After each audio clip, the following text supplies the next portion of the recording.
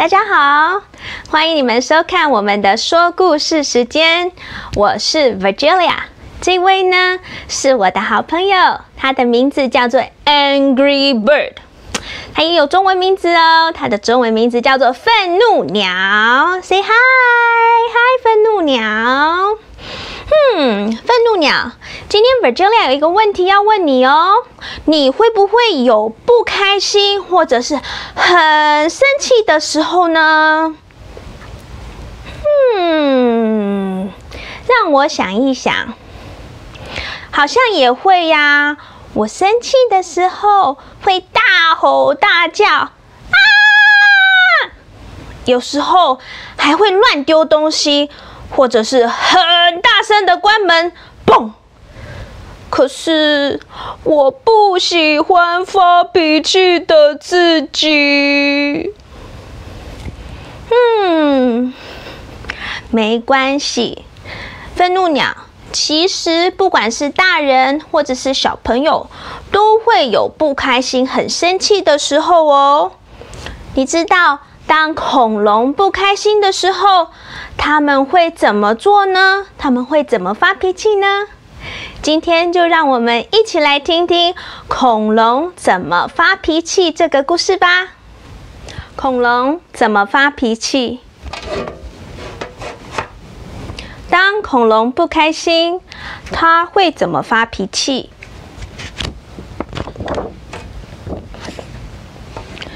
会不会摔门、咆哮，对爸爸妈妈大吼又大叫？啊！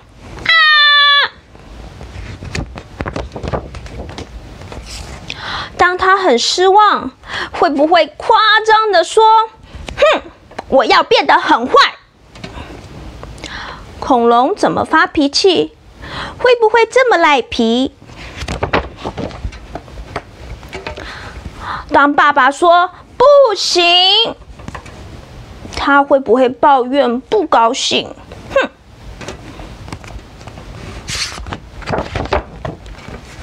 当妈妈说不可以，他会不会把玩具丢满地？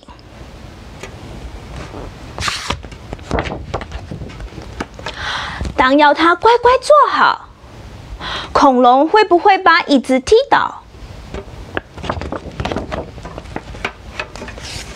不会故意胡闹，假装爸爸妈妈不知道？当听见现在是午休时间，他会不会翻白眼？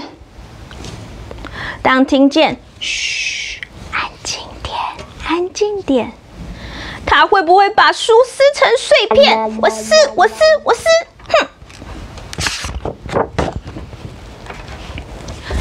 想知道今天没有点心，他会不会失望的拿杯子丢猫咪？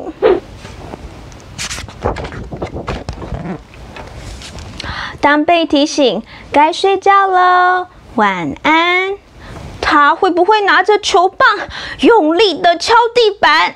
我不要睡觉。不，no no no，恐龙不会这样。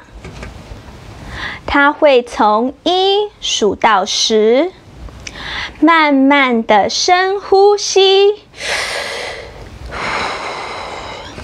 然后它会跟猫咪道歉，也会整理乱糟糟的房间。他会说对不起，而且紧紧的抱着你。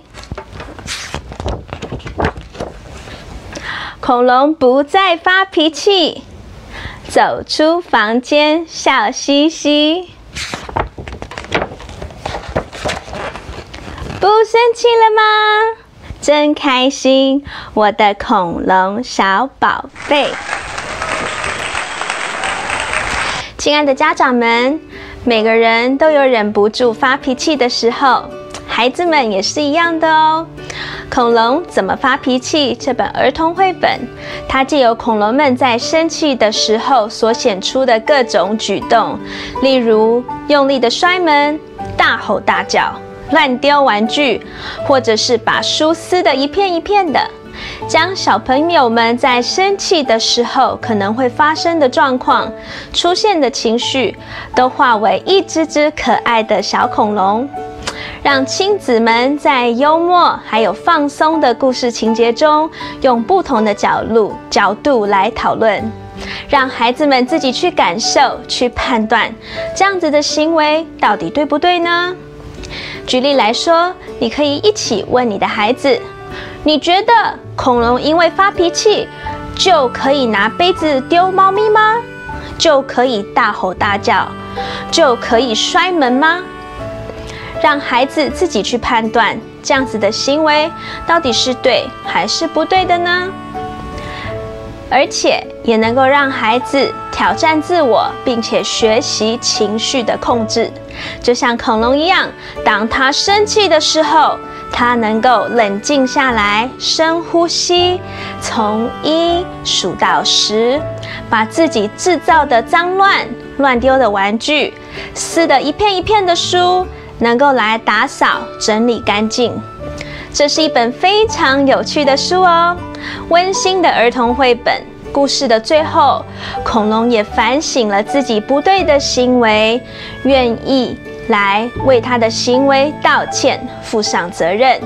他说了对不起，也给爸爸妈妈一个彼此真诚的拥抱。